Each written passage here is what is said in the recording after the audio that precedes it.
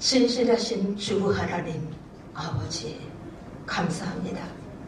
월기청과 함께하는 언론사 청년대의 비전을 위하여 기도합니다.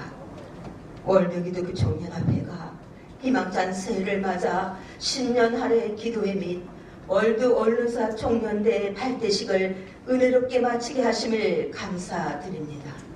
오늘 이 시간 새 출발하며 힘차게 전진하는 비전을 위하여 주님께 늘 함께 해주시기를 원합니다.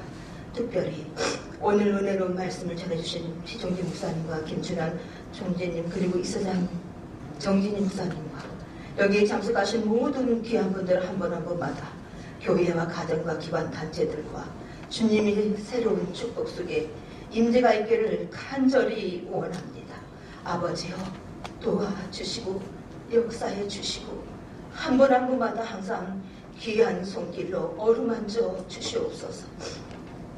권리청과 함께하는 모든 기관 단체들의 목회자와 언론인 그리고 법조계 및 각계 각층의 인사들이 서울신학교와 협력하여 손을 이루며 한민족 성시 통일보구마 월드성교회 인재 양성을 위하여 최선을 다해 중성봉사 헌신하게 하옵소서 진실한 얼기총과 함께 새 출발하는 월드 언론사 청년들을 통하여 온, 온 세계의 월드의 복음 전파로 전도와 선교의 열매를 주렁주렁 맺히고 무르익혀 오직 주님께 영광 돌리게 하옵소서 존귀하신 예수 그리스도 이름으로 기도합니다.